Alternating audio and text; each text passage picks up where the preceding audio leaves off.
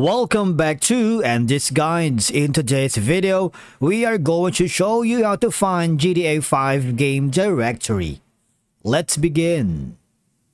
Now, finding the GTA 5 game directory can be necessary or beneficial if, for example, installing mods because it requires access to the game directory to add, remove, or modify game files because mods as we all know, can enhance gameplay and add new features or improve graphics, right? Of course, accessing the game directory is often necessary for troubleshooting issues such as crashes, performance, or errors. You might need to verify file integrity or replace corrupted files. Now, there are multiple ways for you to be able to find the GTA 5 game directory. And the first one is go to your library here on Epic Games.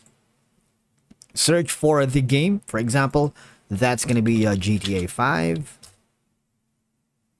Right, right click and just preview the locate directory. And it will of course give you to the file. And the next option that you can do is simply go to the program files. And from here of course just look for the epic games folder. And as you, as you can see you would be able to search for the GTA 5 easily here alright now, the next option is if you are using Steam, all you have to do is hover to the game itself, right? And just go to the library. And then, of course, from there, it would lead you to the game directory to the program files where it is installed, right?